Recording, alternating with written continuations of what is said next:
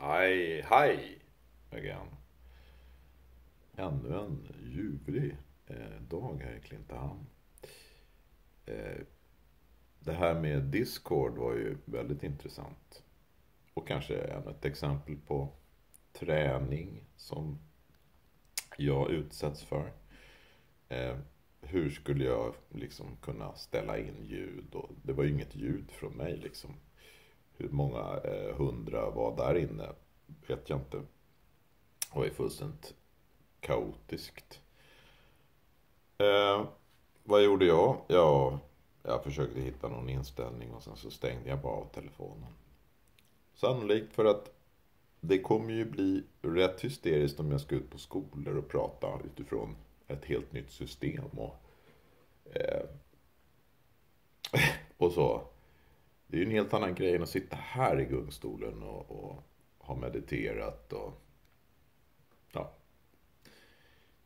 Så att jag, jag får vissa sådana här eh, grejer som, som jag knuffas in i för att jag ska träna mig i någon form av stresshantering eller problemlösning eller vad det nu är för någonting.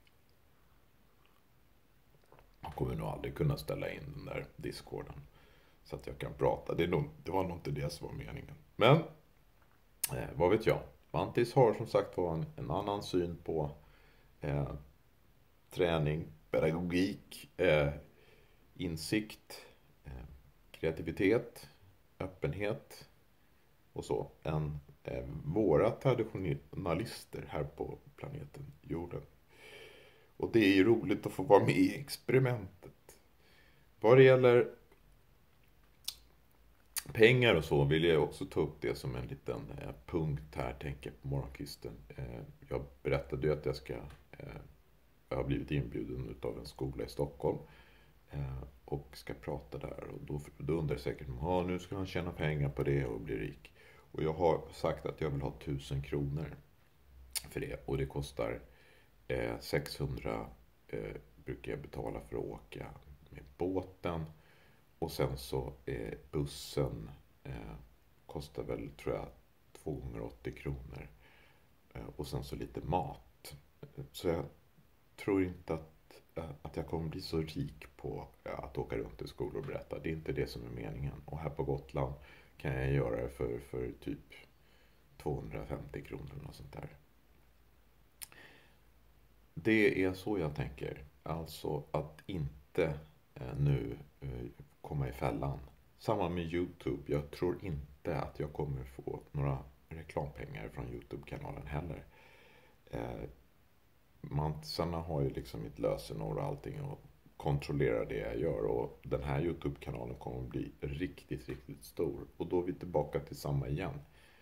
Fel drivkrafter. Man gör saker för pengar.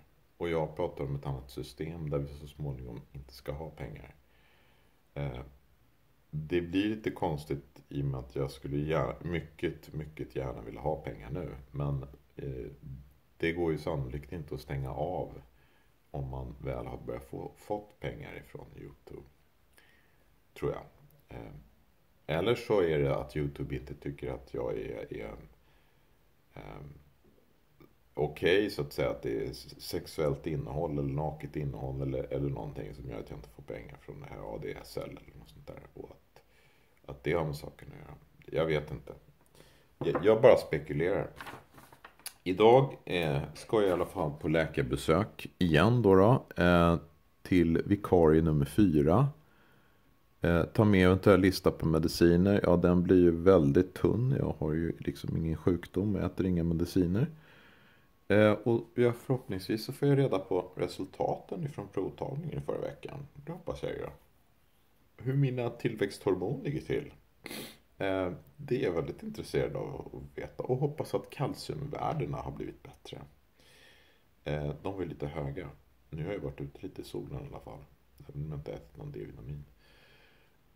Gör nu eh, din dag och ha det så bra.